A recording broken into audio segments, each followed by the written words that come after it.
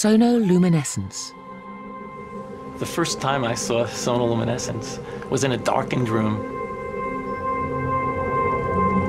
I was transfixed to look at this uh, spherical flask of fluid. And you'd look into the center, and in the center, see a, uh, a glowing blue purple light, uh, which could be seen with the unaided eye.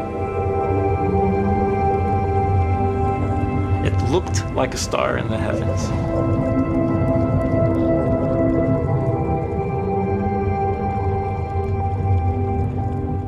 Seth Putterman called it the star in a jar, a tiny spot of bright light contained in a flask of liquid.